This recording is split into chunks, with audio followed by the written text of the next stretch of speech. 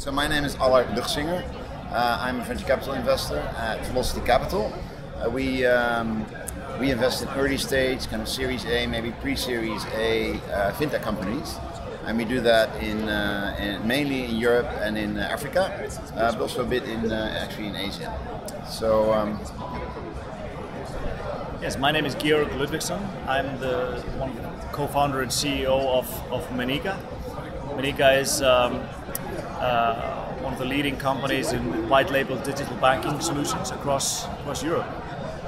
And, um, and Meniga is one of our portfolio companies. We've been an early investor in Meniga, and we've been uh, Meniga for quite a few years right now.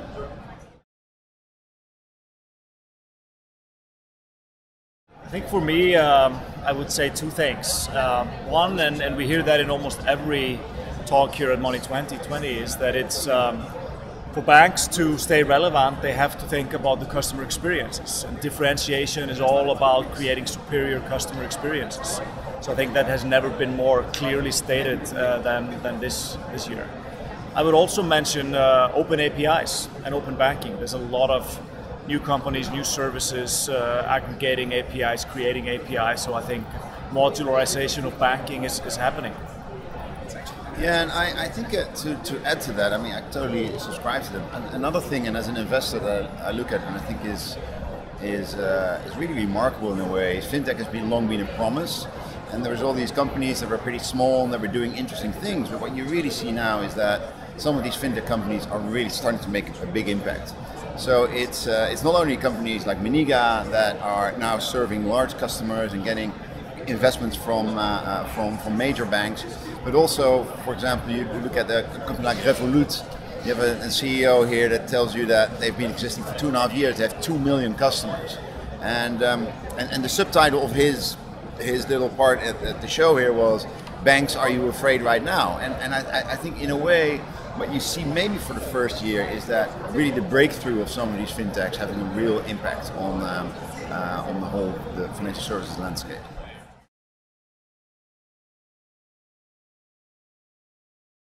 I think it's clear we are in the middle of uh, the early stages of a fintech revolution. There's so much investment now in uh, in uh, by banks, by by investors in, in, in fintech, and um, I think it's never been more interesting times in, in, in, the industry. And I think we are seeing a revolution in uh, terms of uh, modularization of banking and creation of open APIs and, and, access everything as a service. We're, we're in the early stages of banking as a service, breakup of the value chain. And the interesting thing is, I think the jury is very much out. There will be many winners or, and and, uh, and some losers, and, and, different kinds of strategies and players are emerging. Uh, but very hard to predict uh, kind of who those winners will, will be at this stage.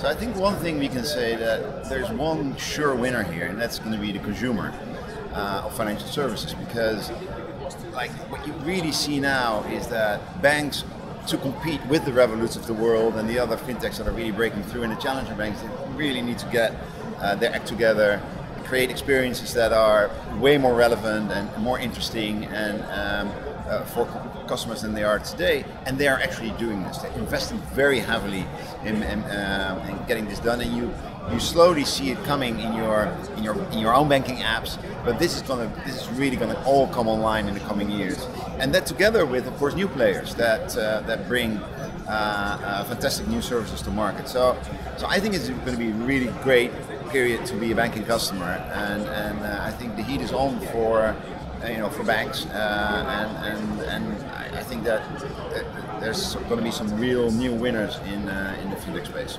Yeah, I would uh, second that. I mean, we already see much better and interesting customer experiences, user experiences, both in digital banking and in neobanks and new fintechs. And we're only uh, have only seen the beginning of this. We've seen many more services. So, so consumer is the only certain winner. Prices will go down, services will improve.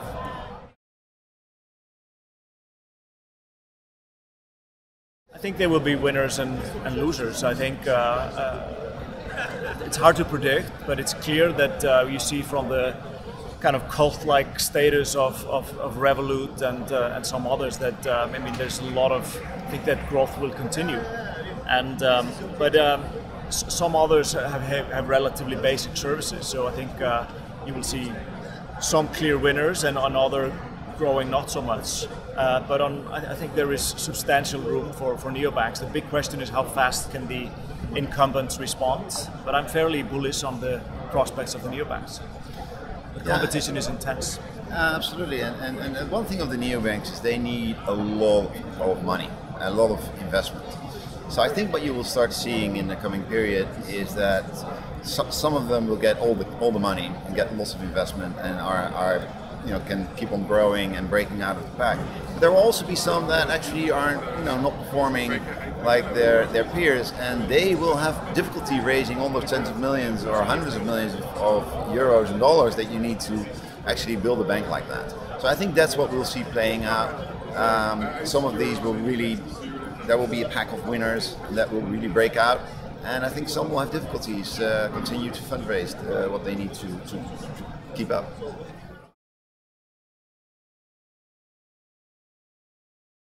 I think definitely. I mean, PSD2 uh, is, I think, the catalyst for many of the things we are now seeing. That's giving investors confidence to invest that the data will be available. Uh, I think some of the emerging neobanks and, and, and, and, and fintech companies are relying on PSD2. Uh, banks are also now, I think, for the first time, you will see more aggressively using PSD2 to help their customers bring in data from, from other banks or even neobanks. So I think PSD2 really has is, is the catalyst and is making things move faster. Uh, however, I also think that uh, in some sense it, it can be overstated. The PSD2 has its limitations. It's not real time. One of the key success factors of Revolut, for example, is the real time feeling of, of using it, which you won't have with, with data aggregated through, through PSD2. But it's really a catalyst, and I think um, many countries, banks, fintechs will go beyond PSD2 uh, once PSD2 is, uh, has taken effect.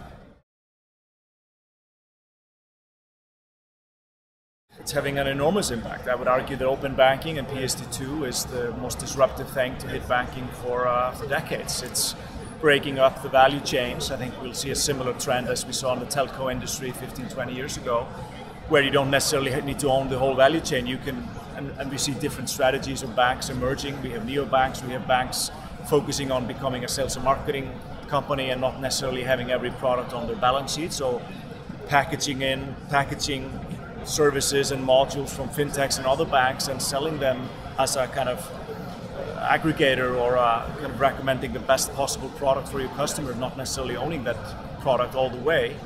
And um, so that's we're the early stage of that that trend, and, and yeah, so it's, it's having enormous impact. It's driving investment across the board.